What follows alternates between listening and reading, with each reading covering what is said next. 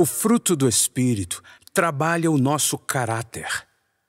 Os dons nos capacitam para toda boa obra. De nada adianta sermos excelentes em projetos e ações se o nosso caráter não se torna cada dia mais semelhante ao de Jesus. As virtudes de um discípulo de Cristo, atuando na sociedade em qualquer área da vida, precisam ser sustentadas por um procedimento, uma ética, um padrão elevado, o padrão do reino de Deus. É por isso que o fruto nos leva a sermos mais cheios de amor. Amor não é um sentimento nosso, mas uma virtude, um fluir do próprio Deus em nós. Por isso, podemos amar até os inimigos.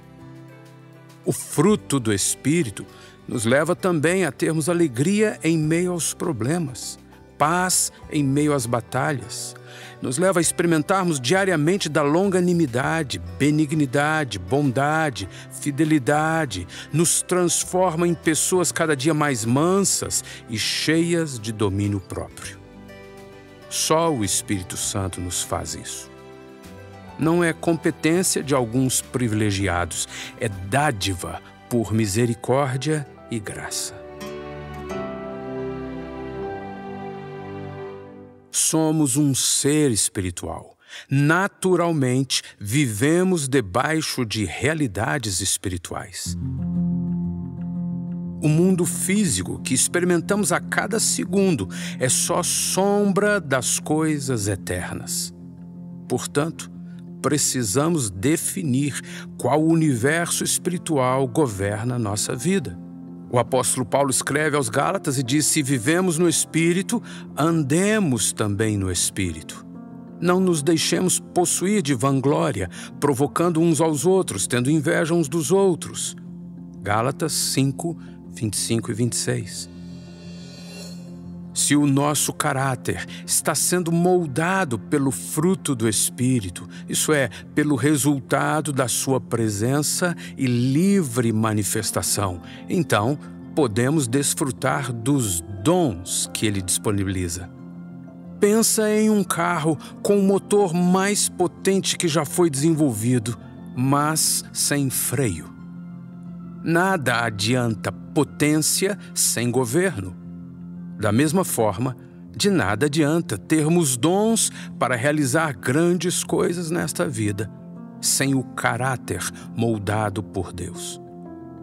Se somos discípulos, submissos, coração ensinável, interdependentes, vivendo em aliança, vínculos do corpo de Cristo, então experimentaremos a manifestação dos dons espirituais que potencializam nossa vida frutífera.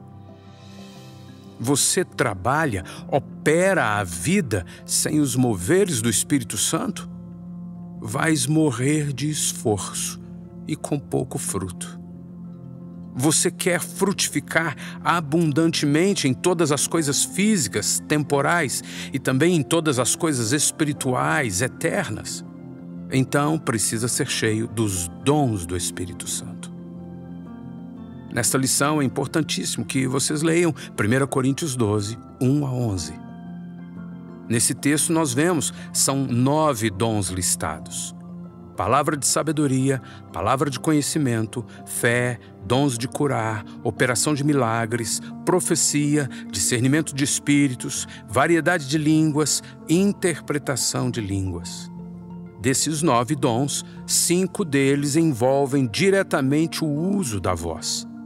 Palavra de sabedoria, palavra do conhecimento, profecia, variedade de línguas, interpretação de línguas. Afinal de contas, o que realizamos nessa vida flui através de conhecimento, inteligência, sabedoria e destreza na comunicação do que foi elaborado na mente. O Espírito Santo tem prazer em nos conduzir assim, cheios de poder. É o Espírito Santo que realiza em nós. Não somos os detentores da capacidade apenas deixamos o Espírito realizar através da nossa vida. caminhando por fé. Nós também observamos como lhe apraz. Isso significa de acordo com a vontade dele.